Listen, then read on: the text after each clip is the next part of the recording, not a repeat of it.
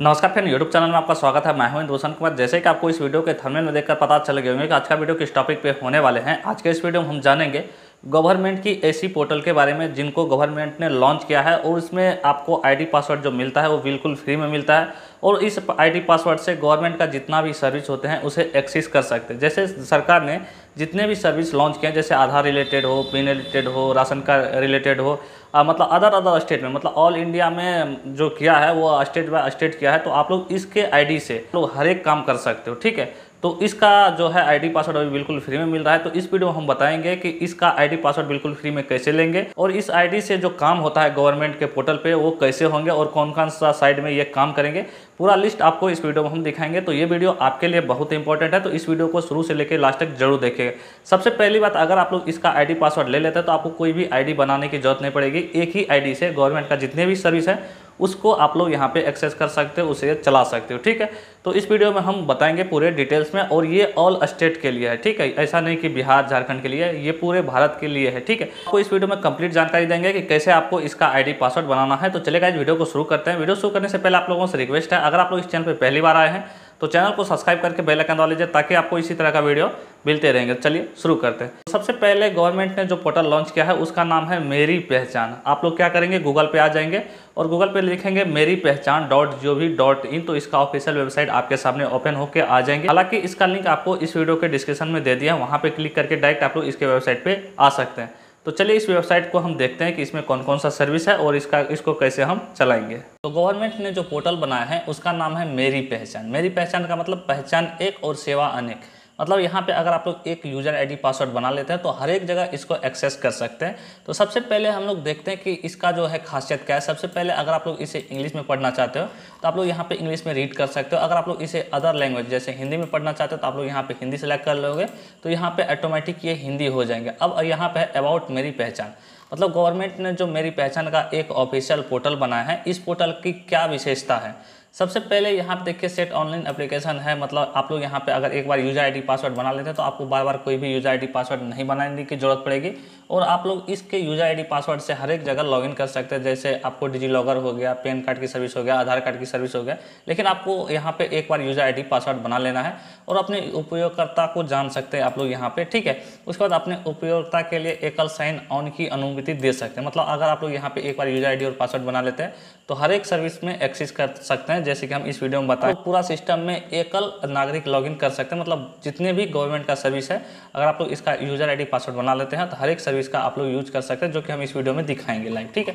तो देखिए, आईडी बनाने के लिए सबसे पहले हम यहाँ पे अपना जो है लैंग्वेज सेलेक्ट यहाँ पे इंग्लिश कर लेते हैं, क्योंकि हम इंग्लिश में आपको यहाँ पे बताएँगे कि कैसे आपको इसका यूज़र आईडी और पासवर्ड बनाना है। तो यहाँ पे यूज़र आईडी पासवर्ड बनाने के लिए सबसे पहले आपको यहाँ पे एक ऑप्शन मिल रहा है लॉगिन का तो सिंपली आपको लॉगिन पे क्लिक करना है। लॉगिन पे जैसे क्लिक करोगे तो आपको यहाँ पे बहुत सारे ऑप्शन देखने को मिल रहे हैं। जैसे आपके पास पहले से डिजी लॉकर का अकाउंट है तो आप लोग यहाँ पे क्लिक करके डिजी लॉकर के माध्यम से यूज़र आईडी पासवर्ड बना सकते हैं। अगर आप लोग यहाँ पे ई प्रमाण के द्वारा बनाना चाहते हैं तो वो भी कर सकते हैं। लॉगिन विथ जन परिचय है, जन परिचय के द्वारा आप लोग यहाँ पे आईडी पासवर्ड बनाना चाहते हैं तो वो भी आप लोग यहाँ पे बना सकते हो। तो अगर आप लोग यहाँ पे न्यू रजिस्ट्रेशन करेंगे, यहाँ देखिए न्यू टू मेरी पहचान। अगर आप लोग न्यू टू मेरी पहचान मतलब नया आईडी बनाना चाहते हैं तो सिंपली आपको रजिस्टर नौ पे क्लिक करना है। इस पर जैसे ही क्लिक करोगे तो आपके सामने कुछ इस तरह का यहाँ पर इंटरफेस देखने को मिल जाएँगे। तो सबसे पहले आपको यहाँ पे देखिए यूज़र नेम और पासवर्ड है तो आपके पास यूज़र नेम और पासवर्ड तो होगा नहीं, यहाँ पे मोबाइल नंबर है। उसके बाद यहाँ पे अदर का सर्विस आपको यहाँ पे देखने को मिल जाते हैं। तो सिंपली आपको क्या करना है यूज़र आईडी पासवर्ड बनाने के लिए सिंपली मोबाइल पे क्लिक करना है और न्यू अप टू मेरी पहचान इस पर आपको क्लिक करना होगा। इस पर जैसे ही क्लिक करोगे तो आपके सामने ये फॉर्म मिल जाएँगे, इसे आपको पूरा फिल करना होगा। उसके बाद आपका यहाँ पे यूज़र आईडी पासवर्ड बन के रेडी हो जाता है। तो ये फॉर्म हम बता देते कैसे बनाना है। तो सबसे पहले आप यहाँ पे मोबाइल नंबर भरोगे, उसके बाद जनरेट ओटीपी पे क्लिक करोगे। आपके मोबाइल में ओटीपी आता है, वो ओटीपी आपको यहाँ पे फिल करना होगा। उसके बाद आपका जो भी नाम है, वो पूरा नाम भरेंगे।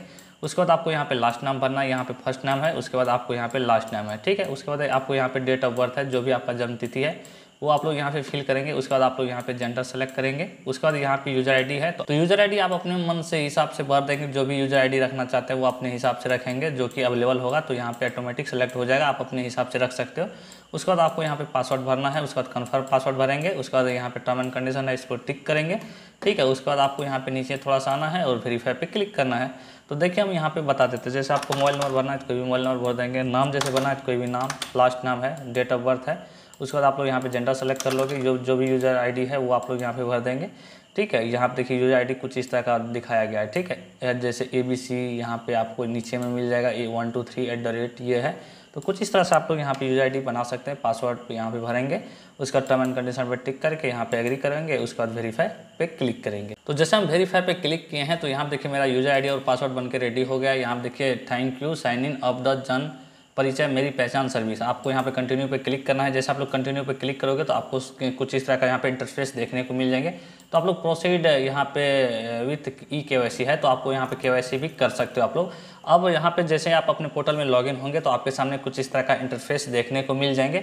अब यहाँ पे आपको एक बात ध्यान में रखना है कि अब जो आपको सर्विस मिलेंगे, वो कौन कौन सा सर्विस मिलेंगे, आपको यहाँ पे पूरा स्टेट का बताया गया है, ठीक है? आप लोग यहाँ पे देखेंगे तो पूरा स्टेट का नाम आपको देखने को मिल जाएँगे।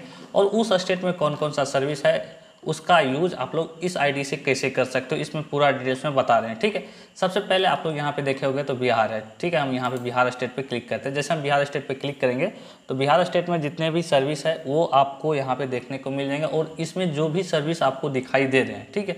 उस सर्विस का यूज़ करके आप लोग यहाँ पे यूज़र आईडी इसका जो यूज़र आईडी पासवर्ड मिला है, उसका यूज़ करके उस सर्विस को आप लोग यहाँ पे एक्टिव कर सकते हो। जैसे आपको यहाँ पे दिखाई दे रहे हैं डिस्ट्रिक्ट एडमिनिस्टर सुपौल बिहार है, उसके बाद है official portal of Siwan district, जो भी है, आपको यहाँ पे जितने भी सर्विस देखने को मिल रहे हैं, उस सर्विस का यूज़ आप लोग इस आईडी पासवर्ड से कर सकते हैं। अगर आप लोग इस पर भी एक फुल वीडियो देखना चाहते हैं कि ये जो सर्विस हमको दिखाई दे रहे हैं, ठीक है? इस सर्विस का यूज़ हम लोग कैसे करेंगे? जैसे आपको ये जो यूज़र आईडी पासवर्ड मिल गया है तो आपको तो यहाँ पे यूज़र आईडी पासवर्ड मिल ही गया होगा।